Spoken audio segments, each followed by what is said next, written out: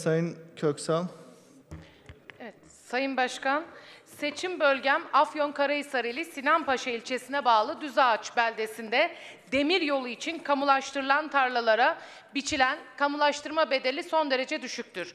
Aynı bölgedeki başka köy ve kasabalarda kamulaştırma bedeli olarak metrekaresi 11 ila 18 liralık bedel biçilirken maalesef Düzağaç beldesindeki tarlalar için 3,5 ila 7 lira arasında kamulaştırma bedeli ödenmiştir. Acilen bu hatadan dönülerek kamulaştırma bedellerinin bölgedeki diğer köy ve kasabalarla en azından eşit düzeye getirilmesi gerekmektedir. Yine seçim bölgem Afyonkarahisar ilinde merkeze bağlı Çıkrık kasabasında Çıkrık kasaba yolu ile Giresunlular şehitliği yolu için yıllardır yapımı için söz verilmekte ancak hala da Giresunlular şehitliği yoluyla Çıkrık kasabası arasındaki o kısa mesafe yapılamamıştır. Bu konuda da verilen sözlerin bir an önce yerine getirilerek söz konusu yolun yapımının tamamlanmasını talep ediyoruz.